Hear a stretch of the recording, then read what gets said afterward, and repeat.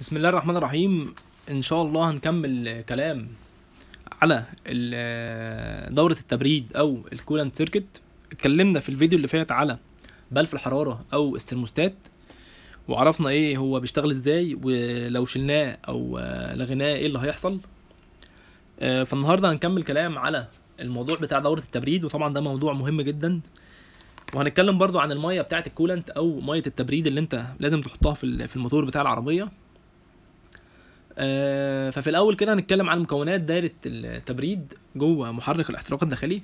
زي ما إحنا شايفين كده أول حاجة ال coolant radiator أو الريداتير بتاع التبريد. بعد كده بيكون في ظهره المروحة بتاعة الريداتير أو ال radiator fan. آه بعد كده في ال water pump اللي هي موجودة تحت دي. وفوق في الثرموستات وطبعا اتكلمنا عنه باستفاضة في الفيديو اللي فات. وفي آه هنا الموتور أو ال engine المحرك بتاع العربية. وفي آه ال heat exchanger أو الدفاية أو ثلاجه السخن وده ال valve الخاص بيها. آه فطبعا أول حاجة آه موجودة معانا هو الريداتير طبعا الريداتير ده يعني عنصر مهم جدا جدا جوه دورة التبريد. وهنتكلم كده إن إحنا أصلا عايزين نبرد علشان زي ما قلنا في الفيديو اللي فات إن إحنا عايزين نحافظ على درجة الحرارة من 85 ل 98% وطبعا النظام الحراري اللي قدامنا ده نظام مغلق.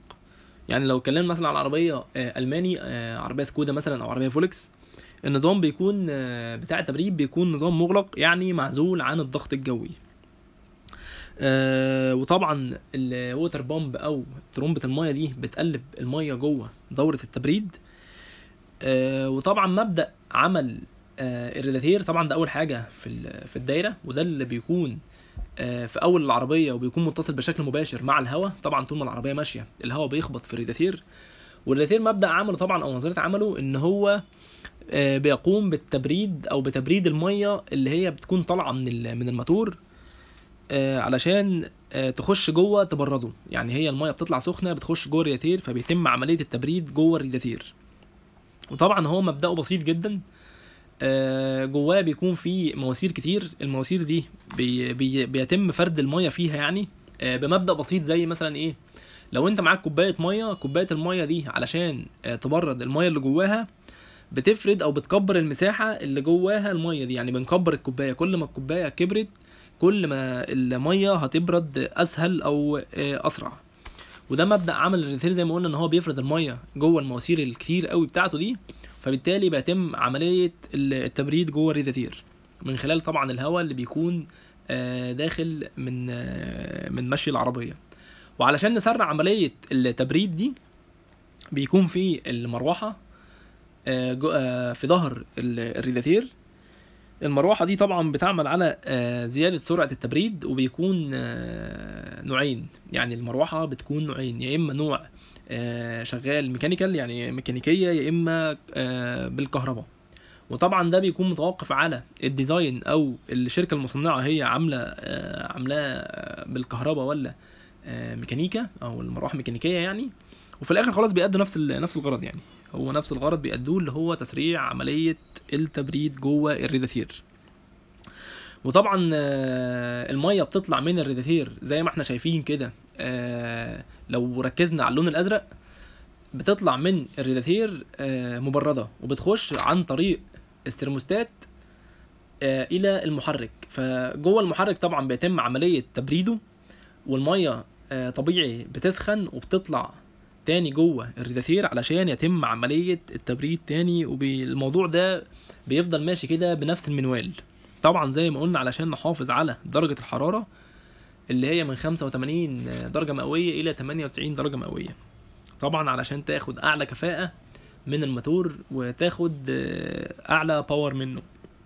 لازم نحافظ على عملية أو على ال range بتاع درجة الحرارة ده. آه وطبعا الريداتير بيحصل له مشاكل كتير جدا وهي السدد. طبعا السدد دي كارثة آه بتسد من الرواسب بتاعه ال- المية آه ومن الشوائب. فطبعا أنت علشان الموضوع ده تتلافاه أو آه يعني نقلل أو نطول عمر الريداتير أو نمنع التش... ال... ال... السدد جواه أو جوه المواسير بتاعته بنستخدم آه، antifreeze ده بيتقال عليه في ال... المناطق زي روسيا مثلا المناطق اللي درجة حرارتها منخفضة جدا بيتقال عليه antifreeze وطبعا عندنا مثلا لو في مصر أو في الخليج بيتقال عليه coolant اللي هو المبرد. طبعا المبرد ده آه، شيء مهم جدا وزي ما قلنا إن هو ممكن يكون أهم من الزيت أهم من الزيت بكتير. وطبعا بيكون آه، مكون من خمس عناصر. الخمس عناصر دول المكونة لل coolant آه، من 90 ل 95% بيكون مادة اسمها ال glycol. ال glycol دي بتكون بشكل أساسي فيه ودي اللي بتخلي ال- ال coolant بتاعك يغلي عند درجة حرارة أعلى من المية اللي هي بتوصل ل 140 درجة مئوية وبيتم آه، يعني بيبقى الغليان عند 140 درجة مئوية بدل 100 درجة مئوية ودرجة التجمد بتكون عند 65% أو سالب من 60 لسالب 65% دي درجة التجمد. آه، وطبعا من آه، واحد ل 4% بيكون مواد مضافة. المواد المضافة دي اللي بتحمي الدايرة بتاعة التبريد بتاعتك من الرواسب وبتعمل على تزييد ترمبة المية. آه، رابع حاجة أو تالت حاجة من واحد ل 3% بيكون H2O يعني بيكون مية عادية جدا. بعد كده العنصر الرابع بيكون منع رغوة علشان نمنع الفقاعات. وبعد كده العنصر الخامس بيكون لون علشان بيان التسريب أو لو في ترشيح ولا حاجة اللون ده يبينه لأن هي المادة زي ما قلنا الجيليكول دي بتكون مادة شفافة. آه، فطبعا زي ما قلنا كده آه، ال coolant ده حاجة يعني مهمة جدا علشان آه، بي- بيساعد في الميه الريداتير بتاعتك أو مية التبريد تغلي عند آه، 140 درجة بدل 100 وطبعا نسبة إن أنت تحط ال coolant بتاعك بتكون 50% 50% ده أفضل اداء لل coolant بتاعك. آه، فطبعا ده كل حاجة عن المية بتاعة التبريد.